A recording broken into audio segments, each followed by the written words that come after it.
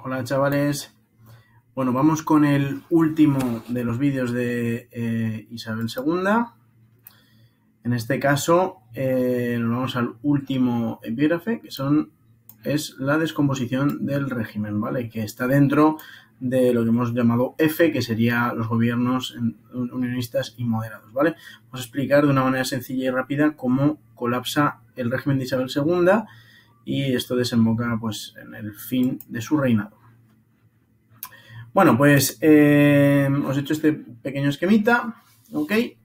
Entonces hay varios factores que van a trabajar para que la monarquía se perciba como la culpable de una situación muy negativa, ¿vale? Y que van a acabar cristalizando en eh, una revolución que acabará con la propia monarquía, ¿vale? Venga, ¿qué factores son los que eh, hacen que la situación sea realmente casi insostenible? a estas alturas. os recuerdo que llevamos 12 años ya en los cuales eh, los unionistas y los moderados han estado alternando en el poder, ¿vale? Bien, lo primero, que ya lo hemos dicho antes, la oposición está excluida del sistema. No puede participar, porque no participa, porque está fuera, y además no puede acceder al poder de ninguna manera, porque el propio sistema está diseñado para que no pueda acceder para que no pueda acceder por las vías que el sistema establece como legítimas para, para ello. ¿Vale? Además aparecen nuevos agentes políticos que no existían, es decir, partidos políticos nuevos, ¿vale?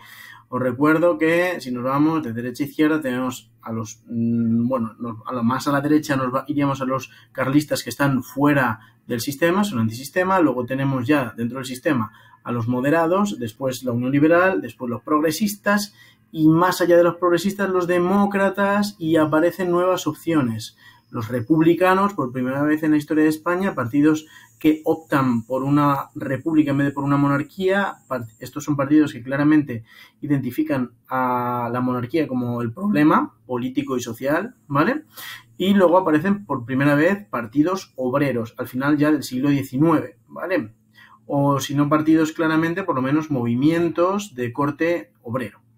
¿Vale? Así que aparecen nuevos agentes políticos a la izquierda, es toda la oposición, desde la, desde la que podría participar en el sistema hasta el antisistema, están excluidos del sistema y de acceder al, mismo, ¿vale?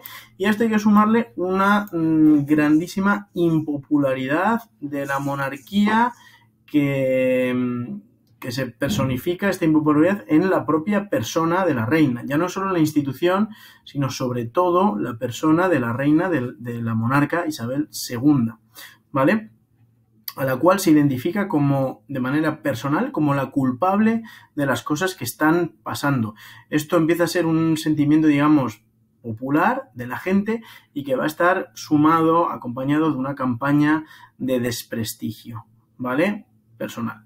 Entonces, eh, si recordamos Isabel II, eh, ha sido una, persona que desde niña ha estado en manos de personas que tenían intereses sobre ella, que la han manipulado, ha estado eh, separada de su familia desde muy pequeña, se ha criado sola, rodeada de personas que, que la manipulaban y que querían de ella distintas cosas y básicamente lo que hicieron todas esas personas fue convertirla en una persona manipulable y que no fuese capaz de desarrollar el trabajo importante y complicado que era ser reina de un reino que empezaba a convertirse en una monarquía em, parlamentaria, ¿vale? Entonces, ella no estaba capacitada para lo que tenía que hacer, ¿vale? Y además, en el punto en el plano personal, era una persona, pues, con muchas debilidades y con muchos traumas que la llevaron a incurrir a a incurrir en, pues, en unas conductas eh, personales que eran muy complicadas de entender en ese momento, que tenían que ver con su sexualidad. Por eso pongo aquí puta, mm, es una palabra malsonante y que no podéis poner en el examen, pero es para que lo entendáis claramente. A ella se le ha tildado muchas veces, incluso hoy en día, se la tilda como la reina ninfómana y una serie de cosas que no son en realidad más que parte de la campaña de desprestigio que toda la oposición realizó para eh, cargarse de su gobierno, ¿vale? Entonces, si es verdad que la reina Isabel tenía muchos amantes, sí es verdad. ¿Eso la convierte en una puta? Pues no lo sé, creo que no. ¿Es verdad que la reina Isabel fue una persona que no supo desarrollar su gobierno? Sí, pero pregunto, ¿eso tiene que ver con su conducta sexual? Creo que no. Y sin embargo, hoy en día todavía podemos leer varios libros serios en donde eh, relacionan las cosas alegremente, como se hizo en su momento para desprestigiarla. ¿Vale? Y mm, realmente, eh, ¿quién es el responsable de todo esto? ¿Es ella misma? ¿Es que ella era realmente una inútil o es que la hicieron así? Yo estoy mucho más cerca de la segunda postura, ¿vale? Pero si queréis echaros, eh, haceros una idea de hasta qué punto esto es lo que creía la gente, ¿vale? No lo voy a poner aquí porque es eh, complicado de, visual, de, visualizar, ¿vale?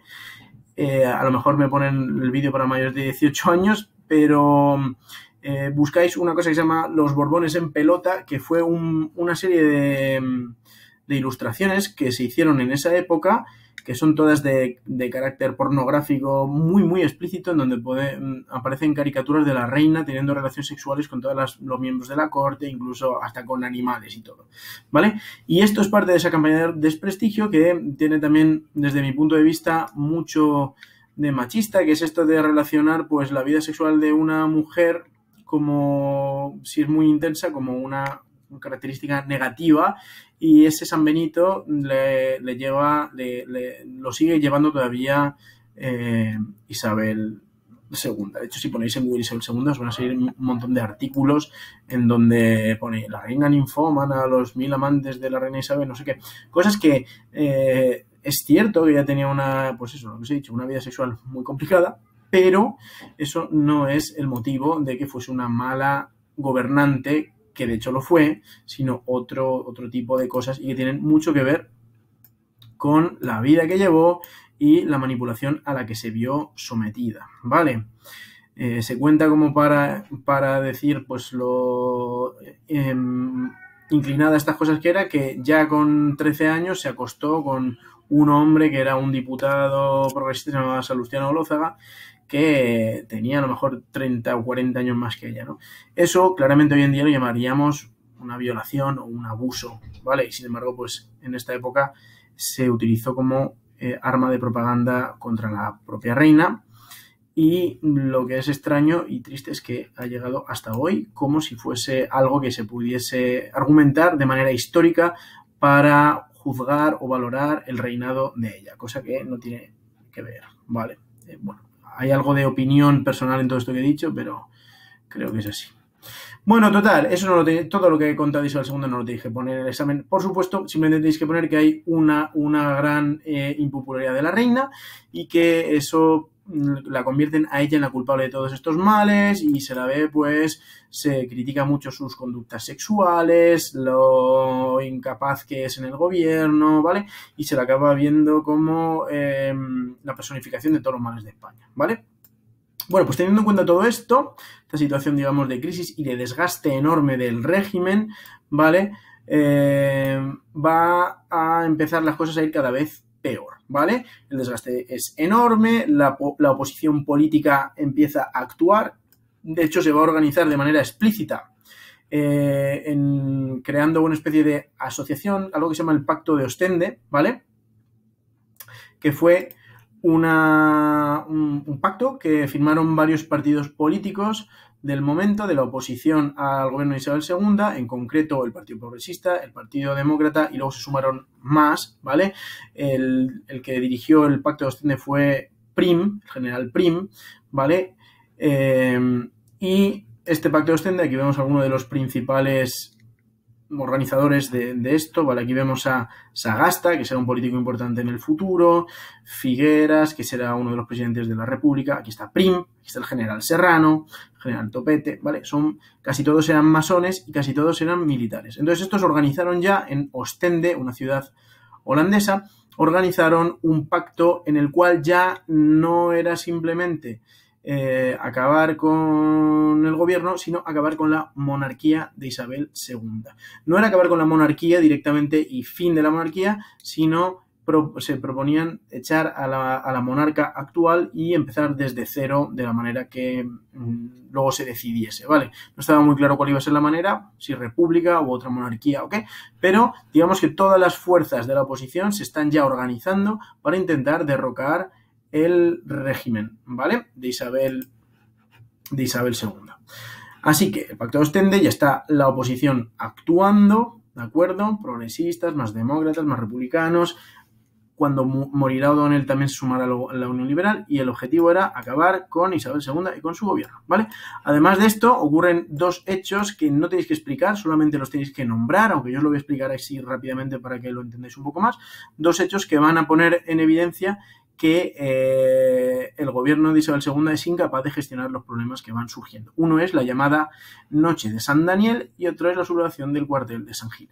La Noche de San Daniel fue eh, lo siguiente. Había un profesor en la Universidad de Madrid, que se llama Emilio Castelar, que es este de aquí, que escribió un artículo criticando a la reina, ¿vale?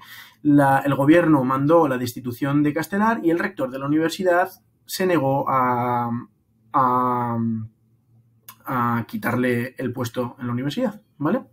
Y entonces, ¿qué pasó? Que los estudiantes se juntaron para hacer una serenata, que era como una forma, la manifestación de, la época, era pues eso, eh, disturbios graves era hacer una serenata en la Puerta del Sol. Entonces se juntaron ahí a cantar canciones donde se metían con la reina y no sé qué no sé cuántos. Y estaban ahí cantando canciones en la Puerta del Sol y entonces desde el gobierno, el gobierno en ese momento era presidido por el general Narváez, se ordenó a unidades de infantería eh, y de caballería del ejército que cargasen contra la multitud como si fuese una acción de guerra y de hecho lo hicieron. Fue un desastre, el resultado fueron 14 muertos y 193 heridos, ¿vale? Y de los 14 muertos había niños, viejos que pasaban por allí y poca gente de las que, de la que estaba manifestando, ¿vale? Así que fue eh, pues un desastre. Esta litografía de la época nos permite pues lo recrea un poco, ¿vale? Aquí vemos a las unidades militares que están cargando contra la gente en la Puerta del Sol, ¿vale? Así que bueno, la noche de San Gil fue un desastre. No lo tenéis que explicar, solo que tenéis que nombrarlo, ¿vale? el otro hecho complicado que incrementó todavía más la impopularidad del régimen y de la propia reina fue la sublevación del cuartel de San Gil, ¿vale?